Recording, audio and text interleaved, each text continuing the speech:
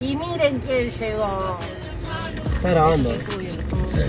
Mostrar el silencio que hay acá. Viajan con nosotros, sienten con nosotros. Adivinen qué pasó.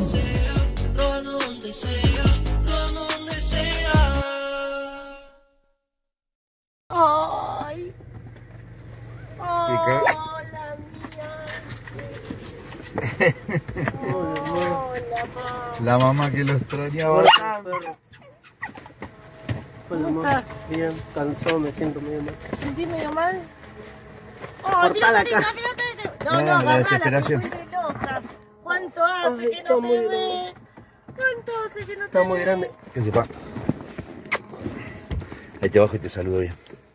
Uy, cosita. Re... Y miren quién llegó. El protagonista de Rodando Donde Sea. Mi chiquito, El autor. mi Joaquín. Joaquín, que está acá en Salta. Se me vino a Salta, se va a quedar en Salta. Trabaja acá a 10 cuadras del camping. Así No vamos que a decir el nombre, no. no vamos No. a. No vamos a hacer el sponsor. Pero vamos a estar juntos porque el 16 es el cumpleaños de Joaquín. Así que hay que estar acá con él. que Está solito, mi chiquito. Va con María, con su novia. Buenas, buenas.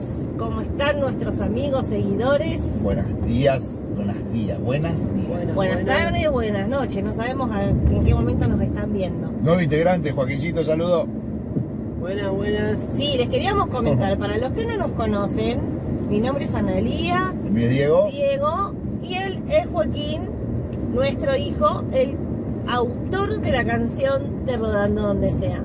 Y nosotros hace tiempo ya que estábamos viajando con nuestra casita rodante y con Sarita, Dale. ella va ahí Ah, ahí. sentadita. Eh, y en este caso hoy vamos a viajar con Joaquín, que hoy tiene Franco, así que vamos a ir a conocer el dique Cabra Corral. El camino que agarramos desde Salta Capital para ir al dique Cabra Corral es la ruta 68, la que va a Cerrillos, Moldes, Cafayate, la que va hacia. Cafayate. Y en el pueblo de Moldes, ya les puedo decir el kilómetro, hacia la izquierda está el dique Cabra Corral. Son más o menos de Salta Capital, una hora 45. Che, se mueve mucho el celu, perdón, pero está la basecita media floja. Vos también te tenés que mover, Joaquín, porque si no Todos tenemos que mover así contrarrestamos el movimiento. Ay, se empezó a andar solo. Hola. Para, contemos que estamos hablando de esto ya que estamos. ¿Cuántas veces hicimos esta ruta en una semana? O en 10 días, o en una semana. Cinco.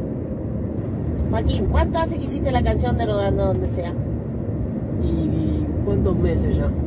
En abril. En abril Sí, hicimos un año. Cuando arrancó, en abril de este año hicimos en Instagram. debe Ahí ser fue. por eso. Sí, porque no- los canal de- videos no tenían la intro. No. Tenés razón. Pero el canal de YouTube, realidad está mal puesta la fecha. Nosotros empezamos con el canal de Rodando Donde Sea en abril de este año. Había otros subidos, pero era con la cuenta que estaba hecha. No. No, los primeros videos los subimos en octubre del año pasado, del año 2021. Estamos en el 2022. Pero subimos tres nomás. En abril de este año empezamos a tener continuidad. Estás cayendo. Joaquín. Y entonces, ¿cuándo hiciste la canción de Sea? ¿Dónde estabas ubicado vos en ese momento? En Salta, pero Acá. la hice con una notebook del gobierno, lo grabé con un micrófono tardé un día. Un día, no sé, menos un día. Pero cuando a mí me lo lo escribí, lo escribí en el momento. Y eso fue todo en el mismo día que se lo mandé. Lo habré empezado a la siesta y a la tarde noche yo ya se lo estaba enviando. Menos un día. Sí, yo sé que te estaba en La Rioja y te dije eh, que hagas alguna intro y me pasaste tres o cuatro, pero a la media hora me pasaste. Claro, y las primeras estaban medias medias. Y después quedó la otra, la, de- la final. Hubo un par de intros que no, se, retoques. que no se mostraron, pero. En serio. Atención. Está grabando. En serio. Entramos en un camino de curvas cerradas y allá derecha. se ve a la derecha el dique. Wow, es grande, ¿eh? Tiene un catamarán. Dejo que me lleve el viento a través de los momentos. Juro que vivo pa' esto. siempre quedan mi recuerdo. Esos paisajes que no creo que voy a olvidar. Esos momentos con viajeros que voy a llevar. Rodando juntos para donde sea. No hay caminos, no hay fronteras. Hemos llegado, hemos llegado al dique. Cantidad de agua. Qué muy grande, ¿eh? Miren lo grande que es. De un lado y del otro.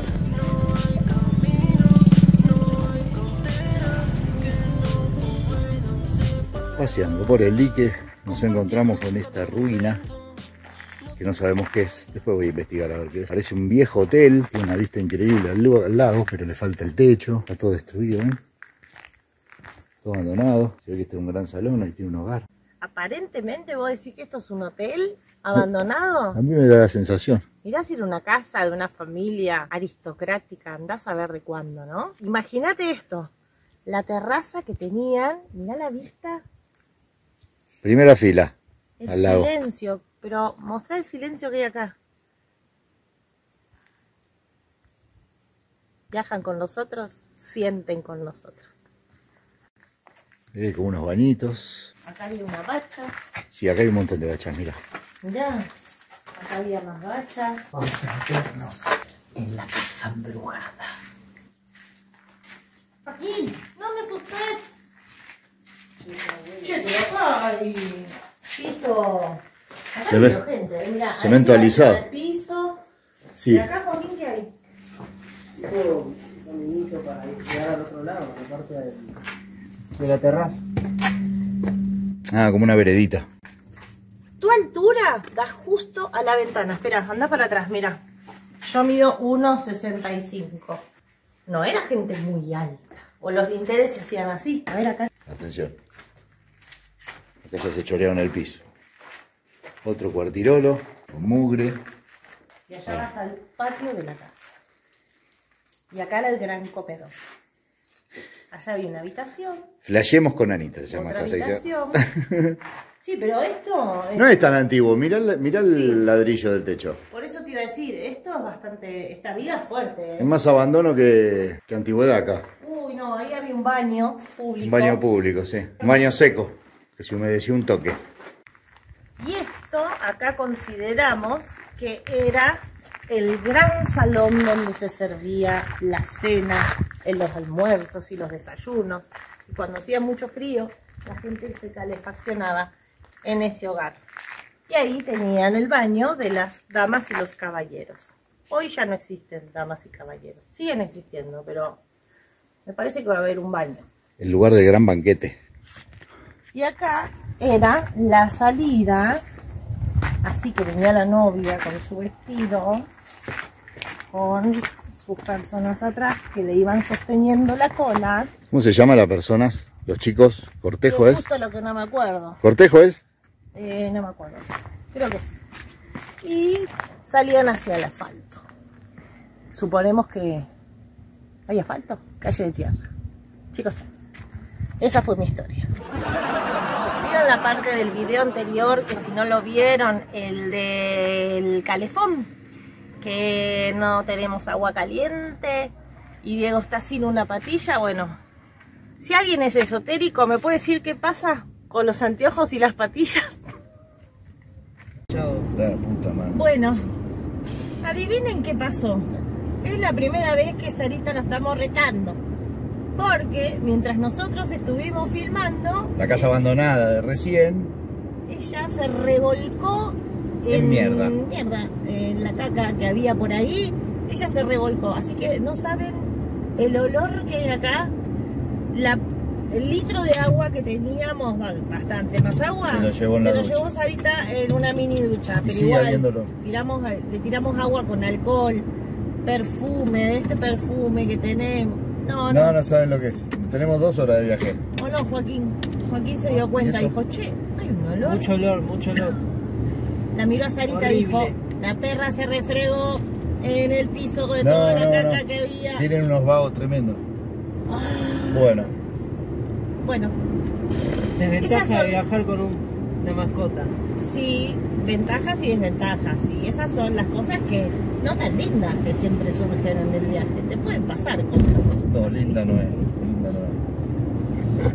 Bueno, Y ella va, mira, con cara de, acá no pasa nada. O sea, a mí me gusta el olor. Ojo. En el mejor de los casos, es caca de animal.